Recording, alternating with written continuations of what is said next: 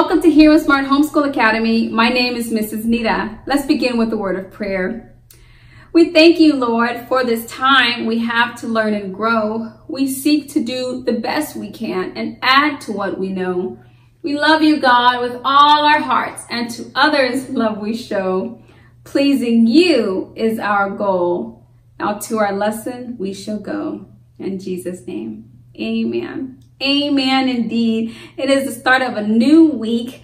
Uh, it's so good to have you here with me. We are in lesson 16A. We have week 16 workbook here. If you're following the curriculum, you can easily download this workbook by following the description below. Keep in mind your memory verse on the front cover. So you'll want to begin working to memorize that scripture as you continue through your week. Great, so let's begin with our warm-up song. Are you ready to warm up? We're going to warm up. Good, good, good stuff. So go ahead and stand up and let's sing our song. If you're ready to learn, clap your hands. If you're ready to learn, stamp your feet. If you're ready to learn, if you're ready to learn, then come and sing with me. Again, if you're ready to learn, clap your hands, clap, clap. If you're ready to learn, stamp your feet. If you're ready to learn, if you're ready to learn, then come along with me. Yeah, good, good job. I'm all warmed up and ready for the day. What about you? yes, we are ready. So the very first thing we want to do is talk about our consonant sound of the day. The consonant sound for this lesson is G, G, G, G, represented by the letter G, as you can see here. G, G, G. You try it. G, G. Good job. The word family of the day is et, et. We'll discuss this in greater detail after you press pause on your device and complete the assignment on page 5 at this time.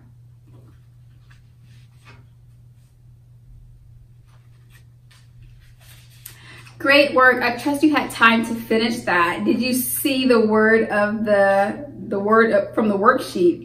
It is get, get. We uh, will go and get the basket. We will get it. We are going to get this lesson. get. Great job. So the word there is get. And as you can see, we are going to talk about the word family of the day, which is et, et, et, et. The E says eh. The T says t, et. If you turn to page 14 in your workbook, you'll see that we're talking about the rhyme or word family, et, et. What happens when you combine these sounds together? What word will you get when you combine today's sound of the day, ge, ge, with the word family of the day, et, et. Well, what you get is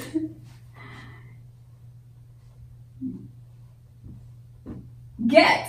You get the word get. Here is our ending, our word family, our word ending. And this is the word that you get. So I want you to practice saying this sound with me, breaking the sounds up into their distinctive units. We have g, e, Let's try it again. G, e, t. Good job. One more time. G, e, t. Excellent work. Now we're going to bring all of these sounds together. Are you ready? Get, get, get, get. The word that you get when you combine these sounds together is get. get. Good job. Way to go. So that's the word of the day. And um, also we want to talk about rhyming words. Can you think of other words that may rhyme with the word get? Can you think of any word that may rhyme with the word get? Hmm. What word can we think of that rhymes with get? What about pet? Ah, that's a good one. What about pet? Let's try the word pet.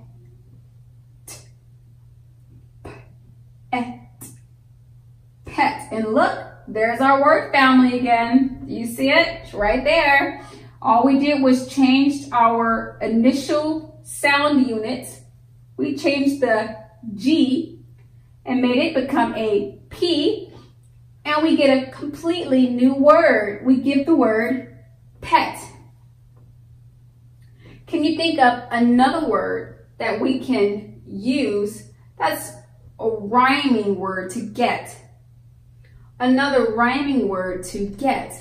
We have get, pet. What about, that's a good one. That's exactly what I was thinking as well. What about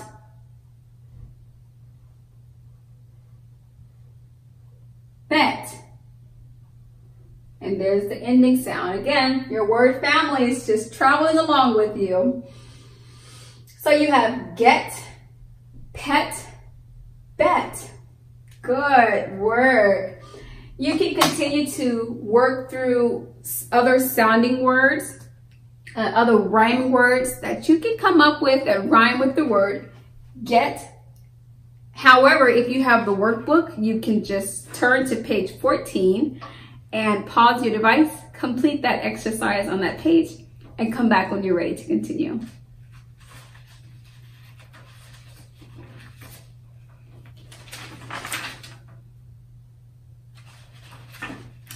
Great work. I trust you had time to finish that exercise. It's a, a lot of fun to practice rhyming. Get, bet, pet, net.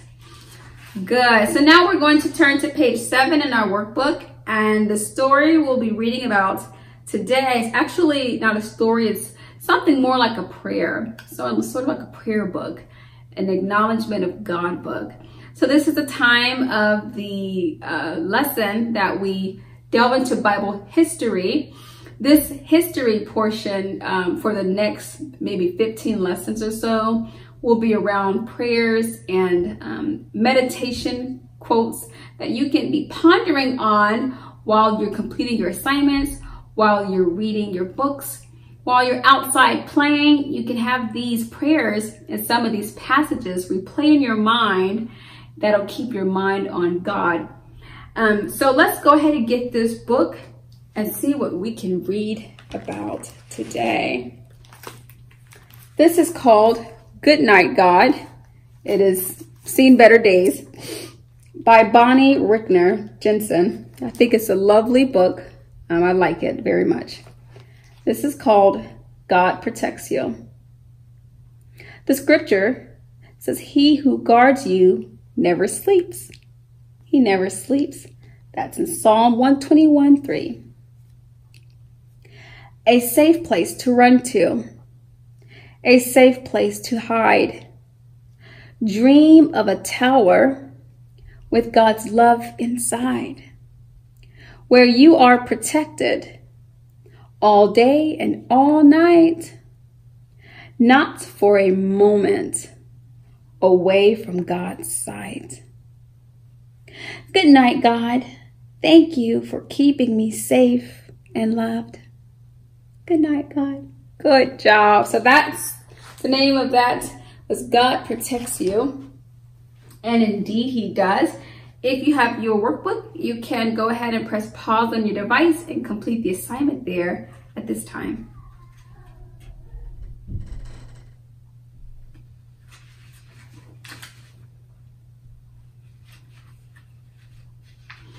Great work. I trust you had time to finish that.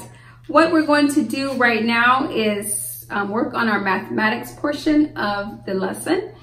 And um, we are going to be talking about counting from numbers 1 through 10 and better identifying the letter associations with the numerals, okay? We've done this activity previously. This is just to sort of review.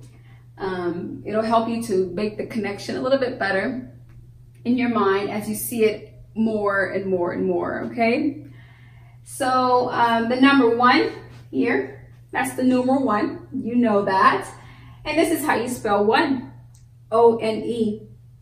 It's also a sight word, and you may have already seen this as a sight word in your workbook. If not, you will see it very shortly. One. This is the number two. T-W-O. It's also a sight word. Two. Three. This is the number three. The way you spell three. T-H-R-E-E. -E. Three. This is the number four. Four. The way you spell four is F-O-U-R. Four. This is the number five. Five.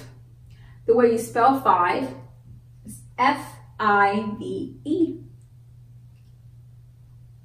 This is the number six. Six. The spelling for the word six, six. S-I-X. The spelling for the numeral is S-I-X. Six. This is the number seven. The spelling for the word seven is S-E-V-E-N. Seven. Seven. Seven seven, seven. This is the number eight. The way you spell eight is E-I-G-H-T, eight. This is the number nine. The way you spell nine is N-I-N-E, nine. This is the number 10, the numeral 10. The way you spell 10 is T-E-N, 10. Over the course of the very first through the 36th workbook that you will use for as a complimentary resource for this video, you will come across about five of these numbers uh, on frequent basis. And oftentimes they're written in their, in their written form using letters. So it's good to know what those letters look like. Um, about Five of these words are either sight words or words that are simple enough for you to learn phonetically over the next few weeks. And uh, finally, the numbers five and nine have long vowel sounds. These are not necessarily sight words. You can spell these words phonetically. We will learn about this in another grade year. Good job. So if you would like, at this time, you can pause your device and complete the assignment found there on page 12.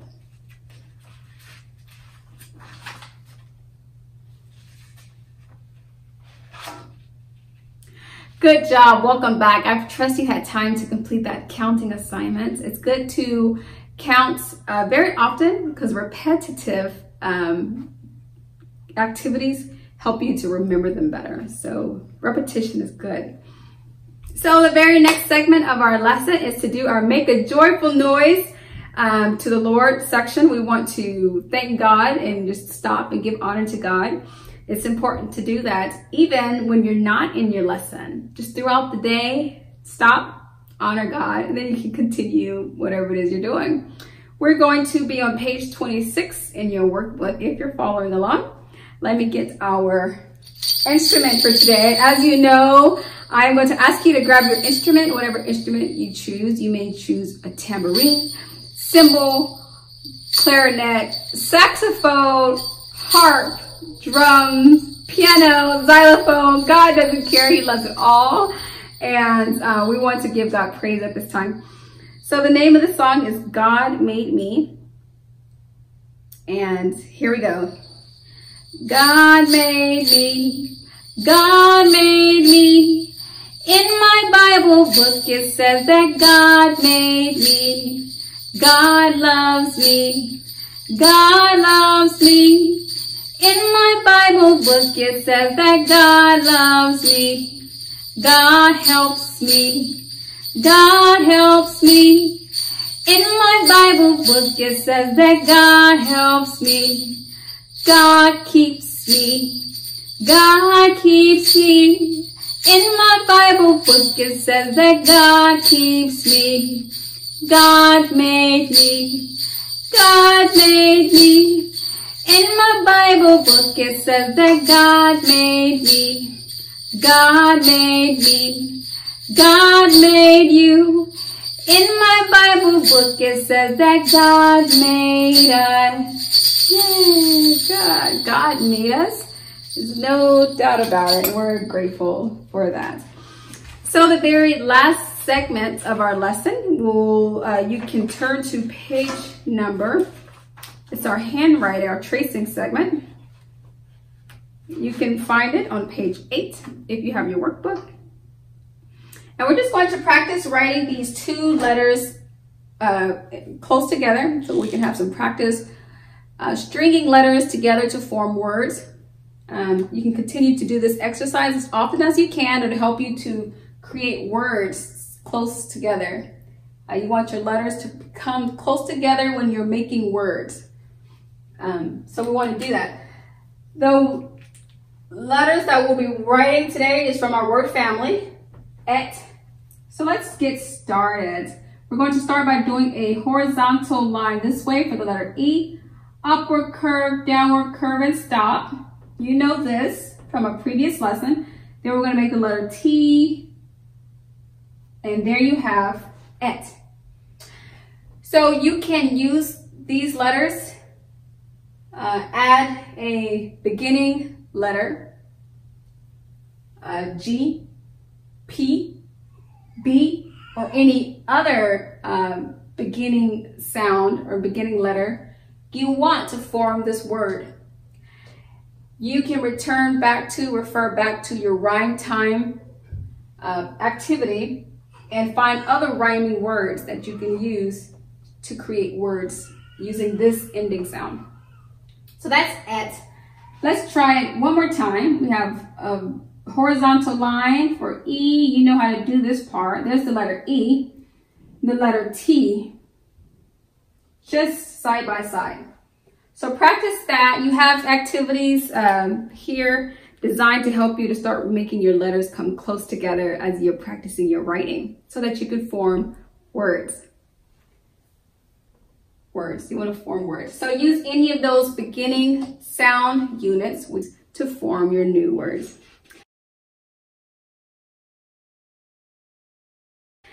Job. And I think that's the end of our lesson. It is the end. Well, it's been another amazing time with you. This is lesson 16A.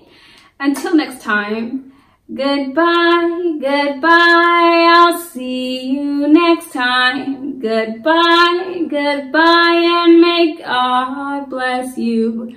Goodbye, goodbye. I'll see you next time. Goodbye, goodbye, and may God bless you. Goodbye, little hero. I'll be your hero's body, and as you study with heroes born, I will be your friend. So don't you